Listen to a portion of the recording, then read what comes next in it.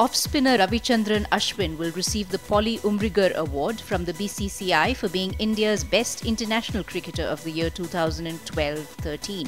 Ashwin took 43 wickets, including four 5-wicket hauls and one 10-wicket haul in a match.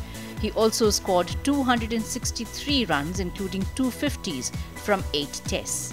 In ODIs, he took 24 wickets from 18 matches and 3 wickets from 4 T20 internationals. The Polly Umrigar Award comprises a trophy and a cheque for rupees 5 lakh. The award has been won in previous years by Sachin Tendulkar, Virender Sehwag, Gautam Gambhir, Rahul Dravid and Virat Kohli. IANS report.